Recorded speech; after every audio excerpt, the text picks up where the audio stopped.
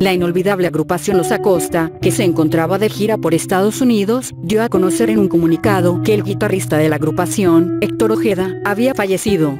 En el mensaje, se indica que murió por causas naturales y que se trata de un suceso sorpresivo que ha dejado a todos con un gran vacío y dolor profundo.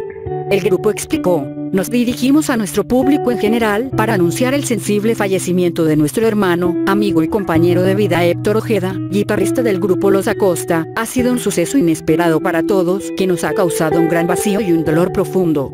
El grupo cumplió con los compromisos pautados el sábado y domingo y agregó que estarían dando lo mejor de nosotros con la compañía de Héctor de manera espiritual. Fue el 10 de mayo de 1979 cuando se formó el grupo Los Acosta en un festival organizado por un periódico local de San Luis Potosí. Esta triste noticia conmocionado a México y al mundo hispano.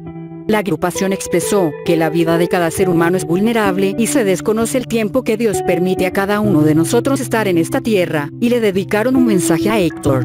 Héctor, que Dios te reciba en su gloria y puedas descansar en paz, tus hermanos de profesión y alma. Sergio, Carlos, Ernesto, Ricardo, Germán, Los Acosta. Los comentarios están abiertos. Suscríbete para más noticias.